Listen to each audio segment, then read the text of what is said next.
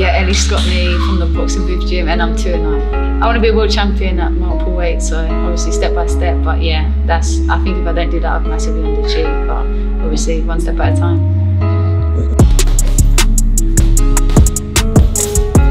Yeah, yeah, the camp, the runs, the dieting, that's, that's the harsh bit.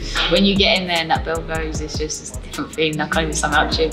Then as soon as it's finished, like, you know, I want that feeling again. It's just, yeah, as soon as you're in there, you're, that's the only place you know. So yeah, it's priceless. Do you know what? For me, I feel like I always had that style, you know, that I like to get involved and throwing body shots. Basically, probably get it a little bit too much. So the pros always was something I always wanted to get stuck into. And I feel like I can show my character and, you know, the way I like to fight a lot more. So for me, it wasn't much of a transition, but it was one that suited me. I don't know when to shut up, so kind of, yeah, in the ring, I don't always know when to stop punching. So yeah, I kind of carry that through. I like to get involved in just the energy I bring. So I think it kind of, my personality shows wild pride. Do you know what? It weren't like I saw someone box and think, oh, that's what I wanted to do. It's always something more closer to home for me. So it's more family orientated than, you know, oh, I want to be like that person. It's more something that I was driven to do.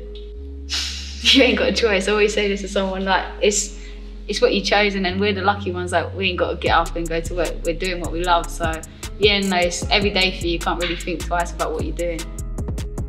It's not something you can really put your finger on. I think it's just something that you kind of got in you, you have it sort of thing, and it's, it's like a second nature to a lot of us. And people say it's just a part of where your life. And if you don't get up and train, you're still thinking about what, what you got to do. So it's, it's kind of my everyday thinking. You don't. It's like just as soon as that comes, you know what's what's got to happen obviously your first loss always sore, and I remember I was out in Ireland, so that was that was sore. But um, I always think an injury sometimes feels a bit worse.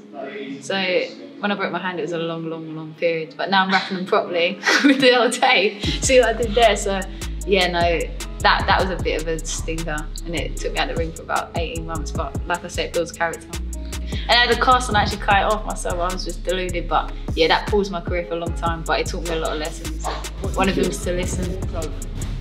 Obviously, I think I was a lucky one. I've been out twice in the process, but obviously, if it wasn't, I was meant to box in March last year, so I would have been about four fights, five fights deep. So I had paused it, but I can't complain because there's people out there that haven't even got to box. But I think I'm gonna be scared when the crowds return. Yeah, probably probably end up getting a bit carried away, but I might get a stoppage. you never know. So no, I'm buzzing to get everyone back. The captain massive. like it's not just about you know people got a goal, but to build a legacy is a completely different story. So legacies, I think, is something everyone aims for, but not many people reach it. So if I could be one of those people that do build that, then yeah, it would be an icing on the cake for me.